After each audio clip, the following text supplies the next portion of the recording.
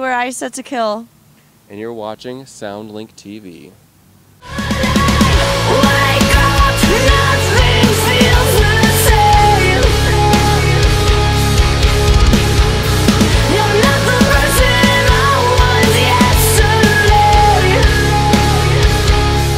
Trent here with SoundLink TV here at the Firmament in Greenville, South Carolina with Eyes Set to Kill. How you guys doing? Fantastic. How are you? Pretty good. What about you guys? Great. Great. Great. You, you sounded like you're Somebody's so a little hungover from his My birthday birthday. yesterday, so I'm hungover. Oh, happy late birthday. How, how, how old are you now? 31. Oh, wow. Okay. I'm not, I'm not too much younger than you. Dying. So you're still partying like you're 21, right? It was not a good Mhm. idea. but it was a really killer show yesterday that we had with Nothing More and Bad Wolves, and uh, it's a good time. Oh, wow. Yeah. Okay. So uh, you guys are doing your headlining run right here. And I guess you played with those guys yesterday. So, uh, you know, how's this, how, how's these shows been? We've talked to you guys last year. Unfortunately, that video did not get released because the quality was Yeah. bad. But um, so hopefully this one comes out better. So, uh, yeah. So what's this last year been like for you guys? You actually have a new album out, which Yes. you guys didn't have out last time, too. Exactly, yeah. It came out in February, um, self titled release. Um, we enjoy it a lot. I think some people are as well. And uh, we've been pretty much on the road ever since we saw you guys in Atlanta last few months off here and there. Started in Europe. Started Came this back year here. off in Europe. Actually, we started with like a week of shows before Europe. I forgot. Uh, We did another three weeks, headliner, nothing more, and now we're doing the same thing. We're doing a few nothing more dates and headlining uh, like in between all of those Okay. and stuff. So this is a long one though. This is a seven week Nice. So uh, you, run. yeah, so you guys have been doing this for over 10 years now. Um, obviously, some of the stuff people love from, from about you guys most came out back then and everything. So what's it like still going, touring and putting out music and stuff for pe- for those people who have been there since like day one?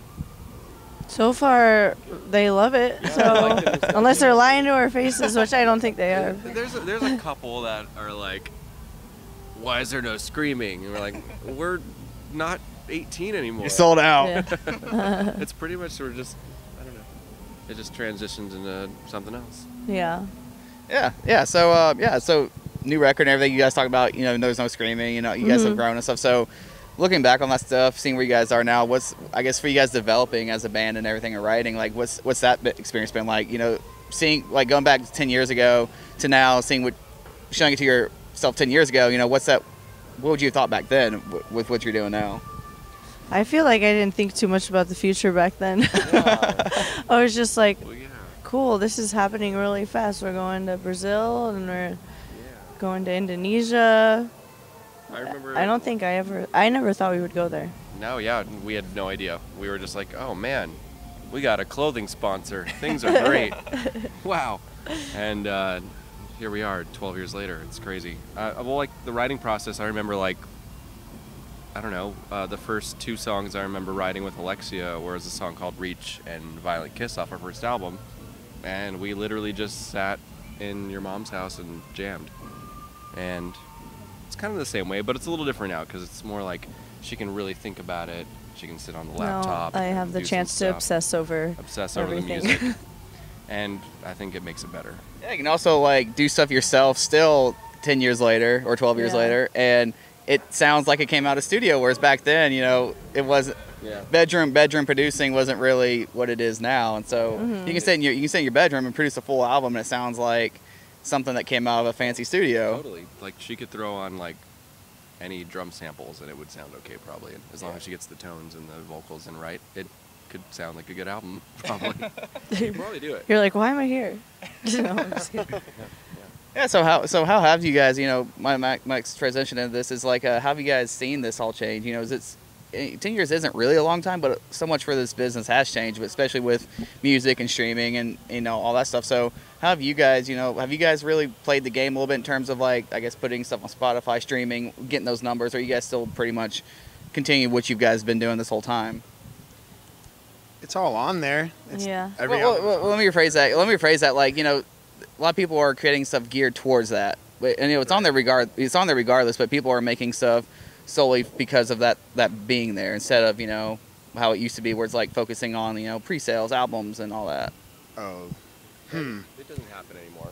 And I would say that, you know, CD sales are down. We've seen it in our own numbers. And uh, but the fans are still there. They're just not buying it. Or Or even seeing or it. seeing it. Yeah, it's very hard to reach our fans. We've noticed. Uh, it's it, every tour. Like it's we just get messages. When are you coming back to Texas? We're like we were just in Texas for a week. Actually, we were in Texas like five times this year, and and they never know. And it's, it's all we can do is post, and then then Facebook. You know, we have to put in like X amount of money to even reach our fans. Even like I think if we wanted to reach all of our fans for Facebook, we'd probably have to spend like ten thousand dollars. Yeah. It's ridiculous. Yeah, that's that's We insane. Don't have any money because we're in a band. Yeah. we love it. Playing. Yeah, I guess I guess that's the most important thing, right? Is just the love for it and keeping going and all that. Yeah, so do you guys use those analytics to like see where you tour now? Because you know back then, you know, you guys just you know you went where you could play and all that stuff and where you got booked. But where now people are like getting into it, like, oh, it shows our, we have more listeners in this area, so we're going to play only these places the most. Or do you guys just still keep it old school in a way? Well, I mean, Sorry. oh, We just remember like where the good shows are. yeah, we remember like I remember there was a lot of people. I like that. I last like that. time. I like that. That's pretty much how we've always said it. Like, oh yeah, that's a good market for us. That's a good one. I uh, I still buy vinyl and cassettes. I don't know how to do any of that stuff at all. so Nope, doesn't have a cassette player, but he buys. them. I have a cassette player. I have two Lied. cassette players. I I discussed this the other day. And Technically, there's one in the van. technically, It's the second. Oh, I have one. I have one of my. I have one in my car over there, and I've, I've had an issues cassette tape stuck in there for a year, and I don't know how to get it out. So, but um, yeah, Ah, nice, nice fun there. but yeah, so you know that's even funny because I was brought up in another interview recently that you know all this stuff's going to digital and everything, but it's also reverting back to vinyl and cassette tapes Yeah. as being the thing to get. So Nostalgic, yeah. yeah, so are you guys? So you guys like into that stuff too? Like We you know? have vinyl at our merch booth right now. Okay, then awesome. Yeah. Our um, album that came out 10 years ago, we decided to do a, a print of that. So I, I bet that I bet that went over really well. it, it seems to be people on. people love like the whole like the whole like 10 year thing is like really and so like you repress something from like 10 years ago people are like give it to me right now Yeah. yeah So I don't know if we can do a 10 year tour. Maybe. We've thought about it. We kind of missed our chance, I think. I mean, if it's a 10 year tour, it won't be at the 10 year mark. It'll just it'll end like- up being like And a then- celebration of our first album yeah type of thing. yeah yeah so we did 12 and a half years ago or something. Some strange number. the 12 and a half year tour uh, Yeah. anniversary It's the new number. yeah screw the screw the even 10 year mark Yeah. just go for the Yeah. 12 and a half year mark you set set the new trend for that Yes. 10 months of the new album. We'll do that.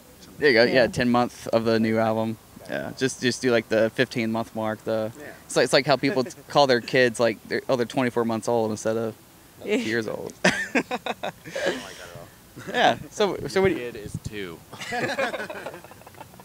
Yeah, 26 months old. Like, 26 months old. What the heck?